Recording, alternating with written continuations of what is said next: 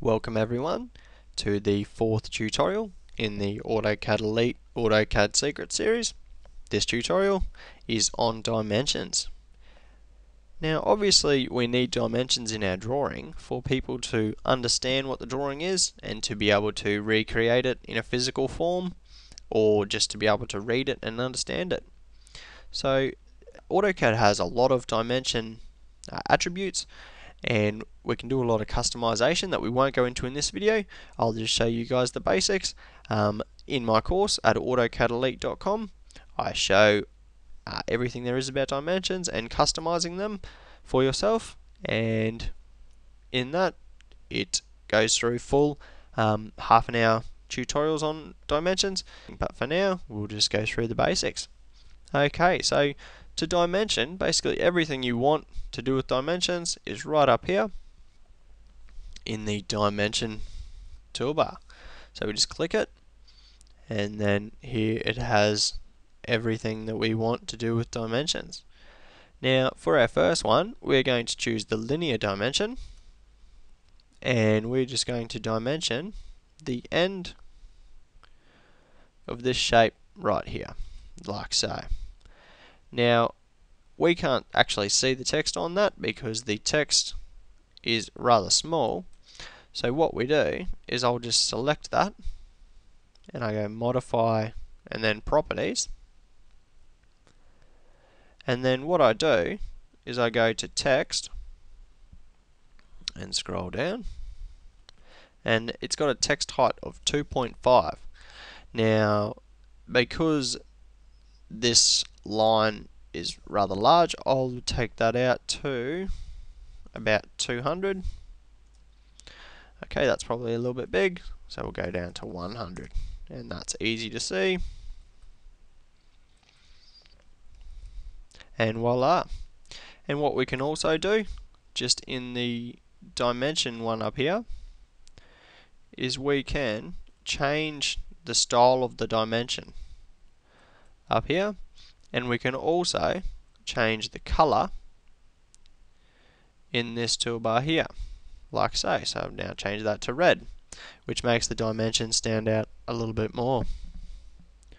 Okay the next dimension we're going to try is the quick dimension. Now the quick dimension is right here and it just chooses the most appropriate dimension for your geometry that you have. As it says, select geometry to dimension. We choose what we want to dimension. Actually, what I'll do is I'll draw a new line because that's an entire block. So I'll draw a line for us to dimension. That's 2000.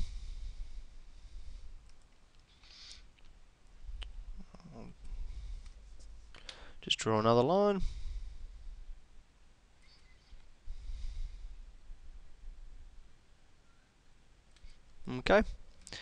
And what I'll do is I'll quick dimension that. And as it says, select geometry. So I choose this line and hit enter. And then I select where I want the dimension to go. So just underneath here is fine.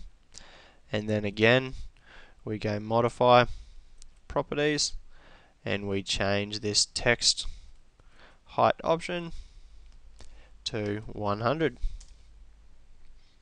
Okay, so there we go. There is our dimension, and we can change the color.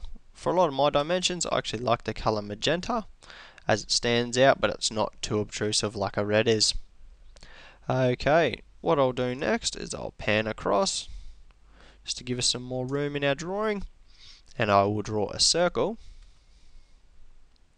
just over here, and we will use the radius and the diameter command. Now to do this, again we go up to dimension and we choose the radius command for radius. Now we select the arc or circle, like so. And now we specify where we want our dimension to be situated, which I'll choose right there. And then again, our text is too small.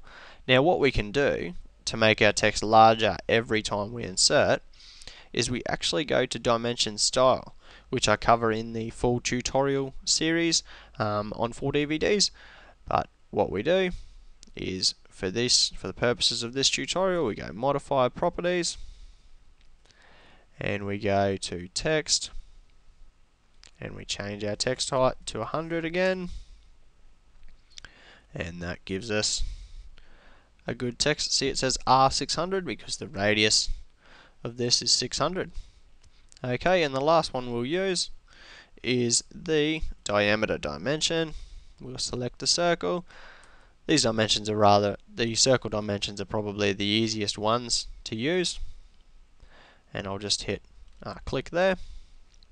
And now I select it again and go modify properties and I just change the text height to 100 and that's all done now. See it's got the diameter symbol there at the start and 1200. Okay, so that's it for this tutorial on dimensions. I hope you enjoyed it and as always, um, if you want a step-by-step -step, uh, hand-holding course into AutoCAD to allow you to reach your AutoCAD goals and make more money, um, you can head to AutoCADElite.com and there's a course there. Okay, bye bye.